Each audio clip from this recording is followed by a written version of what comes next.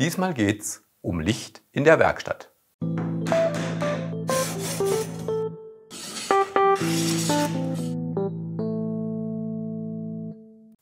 Hallo und herzlich willkommen bei Diktum. Wer genau arbeiten möchte, muss sehen und erkennen können, was er tut.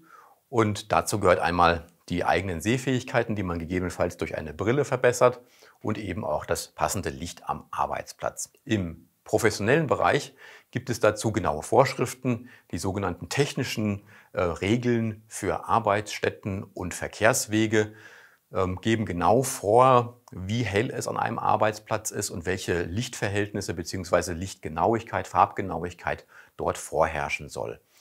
Ähm, da gibt es auch Kategorien, je nach Arbeitsplatz gibt es da unterschiedliche Vorgaben. Im Holzbereich ist es zum Beispiel so, dass man äh, am Sägegatter, wo recht grob gearbeitet wird, zum Beispiel eine Helligkeit von ungefähr 50 Lux oder 200 Lux haben soll. Und ähm, an der Hobelbank sollten es ungefähr 300 Lux sein, damit man genug erkennt. Dann, ähm, je feiner die Arbeiten werden, zum Beispiel im Maschinenraum, wo es noch ein bisschen genauer zugeht, da braucht man dann 500 Lux an der Arbeitsfläche. Und ähm, wenn es jetzt in die Endbearbeitung geht, in die Oberflächenbearbeitung oder in die Furnierbearbeitung, also Furnierauswahl, ähm, Intarsien und so weiter, da sind dann schon eben ja, 750 Lux vorgeschrieben. Also je genauer die Arbeit ist, die man vornimmt oder je feiner die Arbeit ist, umso heller soll es an einem Arbeitsplatz sein. So für feinmechanische Arbeiten oder Qualitätskontrollen zum Beispiel geht es dann bis an die 1000 Lux ran. Im Hobbybereich gibt es solche Vorschriften natürlich nicht. Da kann jeder das Licht sich einrichten, äh, wie er möchte. Ideal ist natürlich ein, ja, eine Werkstatt mit Tageslicht und zusätzlicher elektrischer Beleuchtung.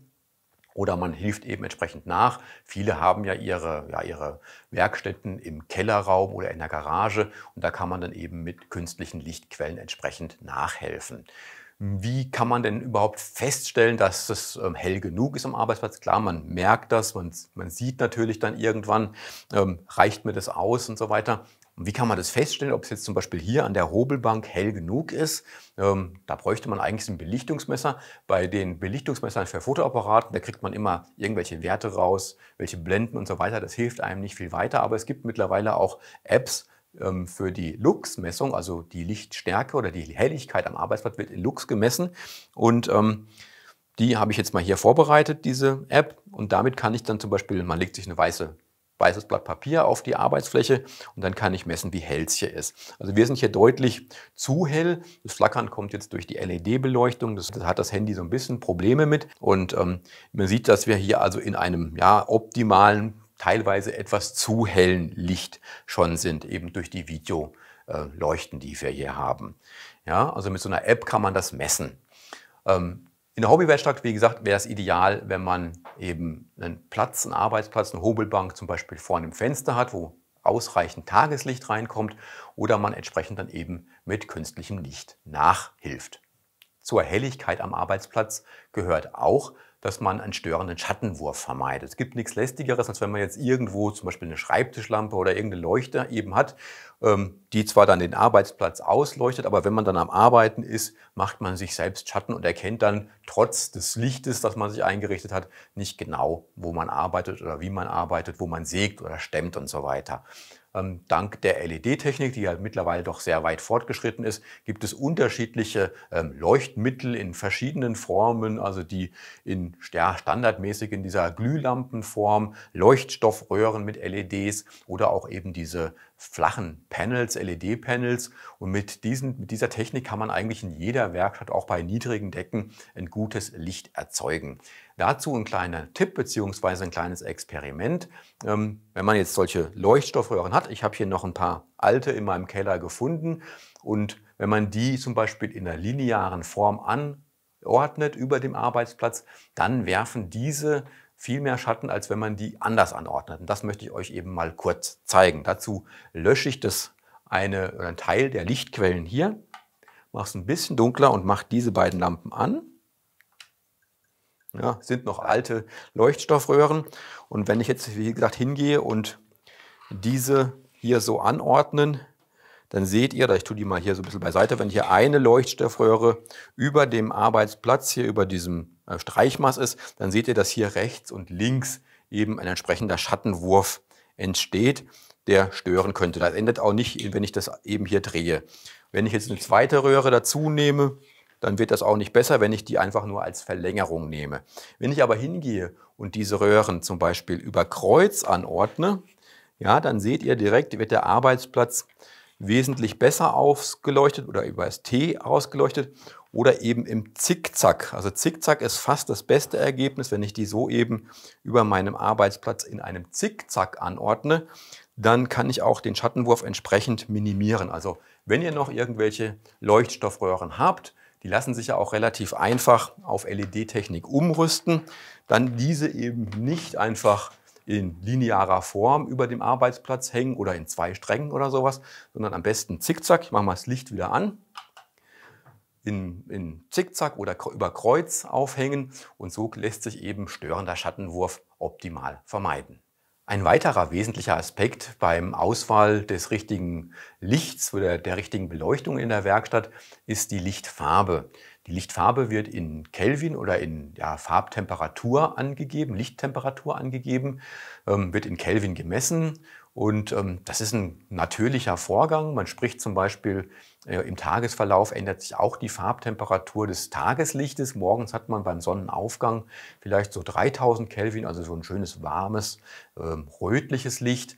Dann gegen Mittag geht das eben hoch, so auf 5000 Kelvin, so mit Mittagssonne, also ungefähr 5500 Kelvin. Ähm, am hellsten ist es so am Nachmittag oder am, am weißesten, sagen wir mal so, ist am Nachmittag bei einem leicht bedeckten Himmel so ähm, haben wir neutrales Licht oder schon ein kaltes Licht von bis zu 10.000, 11.000 Kelvin und abends wird es dann wieder wärmer, wenn die Sonne untergeht, dann kommen wieder die wärmeren Farben dazu. Der Mond hat zum Beispiel eine Lichttemperatur von 4100 Kelvin. Ähm, das irritiert ein bisschen, hat jetzt wirklich nicht unbedingt was mit der Temperatur der Umgebung oder so weiter zu tun, sondern es ist einfach, weil die Farbe mit Kelvin angegeben wird, eben eine Einheit für die Temperatur. Dank der LED-Technik sind wir in der Lage, diese Lichtfarbe genau ähm, zu wählen oder zu bestimmen. Ihr kennt das, wenn ihr zum Beispiel eine Leuchtstoffröhre kauft oder eine LED-Lampe kauft, dann steht da oftmals drauf warmweiß, neutralweiß, kaltweiß. Und ähm, das kann man jetzt zum Beispiel hier in der Werkstatt wunderbar simulieren, weil unsere Videoleuchten, die lassen sich von einem relativ warmen Licht bei 3000 Kelvin ähm, starten und lassen sich hochdrehen bis 5600 Kelvin zu einem kalten Licht. Also ein warmes Licht von 3000 Kelvin. Dann gehen wir hoch auf ja, mal ein neutrales Weiß oder ein Tageslichtweiß, so um die 4500, 5000 Kelvin und dann eben hoch zu einem ganz hellen oder weißen Licht. Also das geht in Richtung Normlicht, eben 5600 Kelvin ist dann schon ein kaltes Licht. Welche Lichtfarbe sollte man denn dann überhaupt wählen in der Werkstatt? Ähm, wir haben es jetzt gesehen, diese warmen und kalten Farben, also von 3000 bis 5600. Ähm, ihr merkt das selbst, am Morgen und am Abend sind von der Natur aus eher warme Farben, warme Lichtfarben vorgegeben. Entsprechend entspannt sich unser Körper bei diesen Lichtfarben und bei kälteren Farben ebenso neutrale bis kalte Lichtfarben, da ähm, das aktiviert unseren Körper. Also sollte man in der Werkstatt auch, damit man sich besser konzentrieren kann, eben äh, ja, eher kalte Lichter wählen. Wir haben jetzt hier zum Beispiel im Studio ungefähr 4000 Kelvin gewählt. Das ist ein bisschen warm, damit es ein bisschen harmonischer wird, aber noch nicht so warm, dass man das zu sehr entspannt.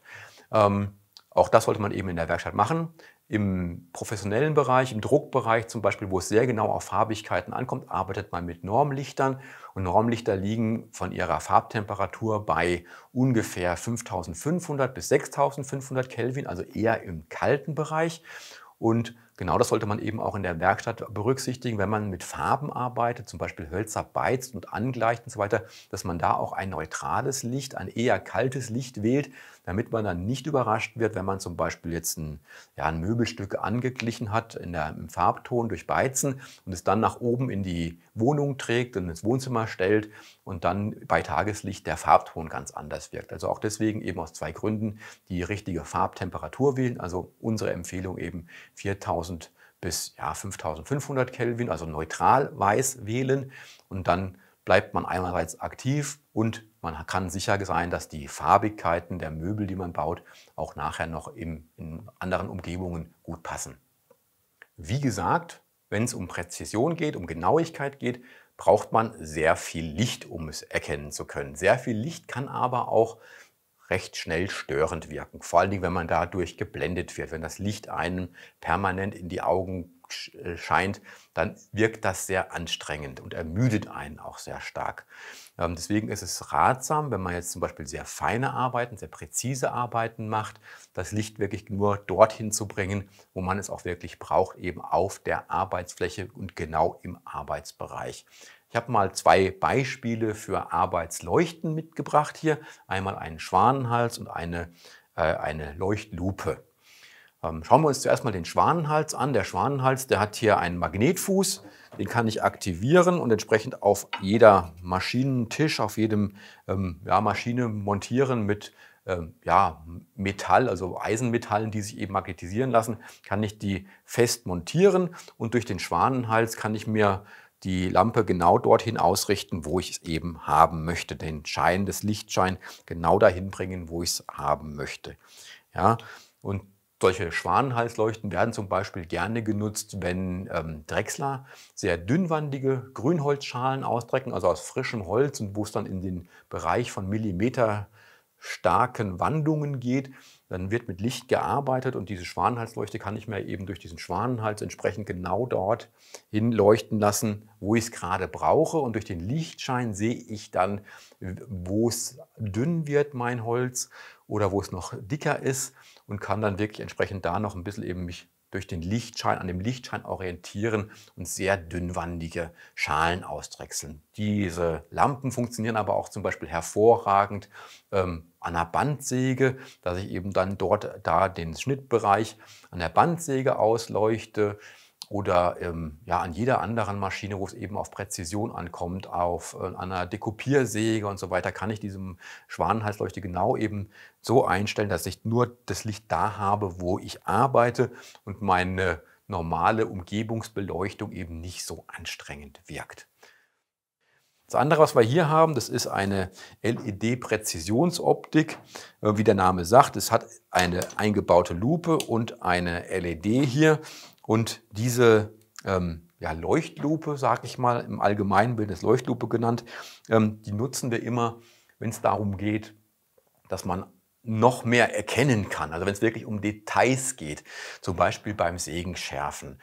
Wenn man dort ähm, sehr feine, ja zum Beispiel eine Feinschnittsäge, eine Querholzsäge ähm, nachfeilen möchte, dann braucht man einmal eine, ein gutes Licht am Arbeitsplatz, damit man die Zahnspitzen erkennt, ob die noch glänzen oder ob die schon ausgearbeitet sind und ähm, durch die Optik, eben durch diese dreifache Vergrößerung, die diese ähm, Leuchtlupe hier bietet, erkennt man ganz genau die Details. Also wenn man hier schaut, man erkennt hier jeden Millimeter Abstand und bei einer so einer Säge, da haben die Sägezähne ja immer vielleicht zwei Millimeter Abstand oder weniger und dann hilft mir so eine Leuchtlupe zum Beispiel weiter. Auch bei, ähm, ja, bei Intarsienarbeiten bei Restaurierungsarbeiten, die Uhrmacher und so weiter. Wenn ich Messer baue, wo es um Klappmesser, um Mechaniken geht und so weiter, dann ist so eine Leuchtlupe wirklich sehr praktisch, weil ich habe ja, ich muss nicht irgendwie eine Lupe halten, sondern ich habe hier die freie Sicht. Ich habe das gut ausgeleuchtet hier unten, also schattenfrei kann man fast sagen, ausgeleuchtet und kann hier dann eben entsprechend ähm, sicher, aber präzise arbeiten. Und die Leuchtlupe, die Lupe an sich wird eben abgedeckt durch die Klappe hier, dass wenn mal Sonnenlicht drauf scheint, dass nicht irgendwie aus Versehen durch den, ja, durch den Brennglaseffekt hier irgendwie ein Brand entsteht und so weiter. Also zwei Möglichkeiten, wirklich Licht an den Punkt, an den Arbeitsplatz, in den Arbeitsbereich zu bringen. Es gibt auch immer wieder Situationen, in denen man Licht irgendwo hinbringen muss, wo man nicht mit großen Leuchten arbeiten kann. Zum Beispiel bei der Inspektion von Maschinen, beim Untersuchen oder Inspizieren von Musikinstrumenten, wo man Hohlräume anschauen muss oder wenn man unterwegs ist und dort was reparieren muss und so weiter. Und dafür braucht man dann eine Lichtquelle, die man mitnehmen kann. Und da hilft einem oftmals schon eine einfache Taschenlampe. Ich habe hier mal ähm, zwei besondere Taschenlampen mitgebracht. Und zwar diese hier, die ist so klein, dass man sie quasi als Schlüsselanhänger äh, nutzen kann. Da ist auch ein, ja, ein Schlüsselring mit dabei. Und die ist trotzdem sehr hell. Ihr habt hier in der Eingangssequenz gesehen, ähm, ich kann die Leuchtstärke hier entsprechend ähm, verändern bei der Lampe. Und sie hat noch ein paar zusätzliche Features, ähm, wie hier so ein Blinklicht, das ich aktivieren kann, ein UV-Licht, ein Leuchtlicht und so weiter. Ähm, und wie gesagt, die ist so klein, dass man damit wirklich ja, sehr gut ähm, die überall hin mitnehmen kann. Und sie hat noch ein kleines ähm, Extra. Also wenn ich jetzt zum Beispiel sage, ich will dieses Blinklicht hier haben, ich kann die mit ihrem Magneten irgendwo aufstellen. Zum Beispiel, wenn ich einen Unfall habe, kann ich die aufs Autodach stellen und sie vor sich hin blinken lassen oder ähm, ja, leuchten lassen. Zusätzlich ähm, hat die ein fluoreszierendes Gehäuse, das selbst leuchtet, wenn sie mal runterfällt im Dunkeln, sodass ich die Taschenlampe leicht finde. Aber ich denke eben auch, dass man gerade, wenn man jetzt hier ähm, zum Beispiel in einem Maschinengehäuse arbeitet, kann man das eben mit dem Magneten hier schön irgendwo hinhängen und man kann dann da an der Motorhaube zum Beispiel diese Lampe festmachen und das, obwohl sie sehr, sehr kompakt ist. Also ein sehr ähm, ja, praktisches Teilchen, kann man schon sagen, diese Lampe. Wie gesagt, eine Taschenlampe, dass man irgendwo reingeht. Dann gibt es aber auch gerade beim, ja, bei Maschinengehäusen, wenn man da irgendwo mit der Taschenlampe leuchtet und irgendwo, was weiß ich, ein kleines Schräubchen sucht und so weiter, ähm, immer Situationen, wo man dann mit der Taschenlampe sich immer selbst einen Schatten wirft. Ähm, Dafür gibt es diese Inspektionsleuchten zum Beispiel. Die werden bei uns von unseren ähm, Instrumentenbauern zum Beispiel sehr gerne gekauft ähm, zum Inspizieren von ja, Rissen in der, in der Schalldecke von Violinen, Harfen, Cello und so weiter, weil man eben mit diesem langen, dünnen Schaft hier in die Hohlräume eindringen kann und entsprechend dann dort das Licht hier, das sind gerade mal 5 mm Durchmesser, diese LED hier vorne, kann man dann wirklich dort das Licht hinbringen, wo man entsprechend gerade leuchten möchte. Machen wir hier als Beispiel, kommt man eben hier auch dazwischen, kann sich das ja als Hohlraum dann vorstellen, den man eben ausleuchten möchte hier und kann das Licht dann wirklich dorthin bringen, wo man ja mit einer anderen Taschenlampe, selbst mit so einer kleinen eben, sich immer selbst Schatten macht. Das sind sogenannte Inspektionsleuchten, also diese Band-Alight, die sind eben dafür gedacht, dann wirklich das Licht dort reinzubringen in Hohlräume. Eine ganz praktische Sache. Und dann gibt es natürlich auch die Situation, jetzt gerade, habe es eben schon gesagt, man muss was reparieren am Auto oder in der Küche über Kopf was anschließen und so weiter. Und da ist es dann natürlich praktisch, wenn man die Hände auch frei hat. Man kann es natürlich mit so einem Magneten irgendwie festmachen, funktioniert aber zum Beispiel bei Holzmöbeln ein bisschen schwieriger. Und da hat, sich, hat mein Bruder mir mal einen Tipp gegeben, dass er zum Beispiel seine Motorräder, der ist Crosser, und die müssen relativ schnell mal was reparieren, ähm, immer eine, mit einer Stirnlampe repariert, um dann die Details noch erkennen zu können. Habe ich hier eine besondere Stirnlampe mitgebracht, auch von ähm, Speras, und zwar ähm, diese hier. Die hat mehrere Besonderheiten. Also ich kann sie mal anmachen. Und ihr seht, die hat hier vorne diese, dieses LED-Band, also dieses integrierte LED-Band. Das lässt sich auch in zwei Lichtstärken ähm, ausrichten. Ich mache jetzt mal die bisschen angenehmere Lichtstärke. Das ist sehr schön, wenn man zum Beispiel dieses ähm, bei, ja, bei allgemeinen Tätigkeiten im Freien, zum Beispiel bei Outdoor-Tätigkeiten, braucht man nicht immer unbedingt dieses Punktlicht, sondern man braucht einfach nur noch ein bisschen mehr Licht, um was zu sehen. Oder beim Joggen, wenn man abends noch jetzt gerade im Winter draußen joggen möchte, dann mit man so ein bisschen gesehen wird, eben dieses Licht. Es hat auch hier hinten noch eine Lampe ähm, an diesem Gehäuse dran hier, dass man ähm, da eben dann auch von hinten gesehen wird. Und ähm, wie gesagt, er hat diesen Strahler hier. Und dieser Strahler ist eben jetzt hier seitlich angebracht. Dadurch habe ich weniger Gewicht auf der Stirn. Das ist schon mal recht angenehm. Und es wird auch nicht so leicht geblendet. Man, manchmal kennt man das ja, wenn diese Lampen hier vorne sitzen, dass man sich dann sehr schnell irgendwie so einen, so einen Lichtschein auf der Nase hat und sich blendet. Das ist eben durch diese ist, ähm, seitliche Anordnung hier nicht gegeben, sondern man hat es eben ein bisschen nach hinten versetzt. Dann ist dieses Blenden schon mal ausgeschlossen. Und sie hat einen zuschaltbaren Sensor, den kann ich auch hier auswählen. Und über diesen Sensor kann ich dann die Taschenlampe berührungslos oder die Stirnleuchte berührungslos schalten, ein- und ausschalten. Ja, Und ähm, das ist zum Beispiel praktisch, wenn ich jetzt gerade wie im Beispiel vorhin gesagt, ich habe äh, ölverschmierte Hände, habe die Arbeit am Motorrad abgeschlossen, ansonsten reicht das Licht. Dann will ich natürlich nicht mit den verschmierten Händen dann an die Lampe greifen oder beim Aufbrechen von Wild oder was auch immer. Also mit, oder mit dicken Handschuhen zum Beispiel ähm, wird es schwierig, so, eine, so einen Schalter zu bedienen und das kann ich eben durch diesen Bewegungssensor hier neben wunderbar machen. Also da ist diese Spread Alight wirklich sehr, sehr praktisch und man kann die eben mit freien Händen dann damit auch wunderbar arbeiten. Also drei Möglichkeiten, das Licht wirklich dann ins Dunkle zu bringen. Das waren jetzt einige Informationen zum Thema Beleuchtung in der Werkstatt, Licht am Arbeitsplatz. Ähm, angefangen von, wie hell soll es sein, welche Farbtemperatur soll das Licht haben, ähm, wie leuchte ich den Arbeitsplatz bei sehr präzisen Arbeiten aus, beziehungsweise wie bringe ich Licht ins Dunkle in speziellen Situationen. Also sehr viele Informationen rund um das Thema Licht am Arbeitsplatz. Ich hoffe natürlich, das Video hat euch gefallen. Wenn dem so ist, dann lasst uns ein Like da, einen Daumen nach oben. Ähm, abonniert den Diktum YouTube-Kanal und aktiviert die Glocke, dann verpasst ihr keine Videos mehr von uns. Wir fassen diese ganzen Informationen natürlich auch wieder in unserem Werkzeugwissen-Blog zusammen. Da könnt ihr das dann nachlesen. Da findet ihr dann auch die Links zu den vorgestellten Produkten, also zu den verschiedenen Lampen, Leuchtlupen, Präzisions-LED-Optik und so weiter, könnt ihr dann auch die Produkte dort finden. Dann ähm, wünsche ich euch viele erhellende Momente in eurer Werkstatt und wir sehen uns auch das nächste Mal gut ausgeleuchtet bei Diktum.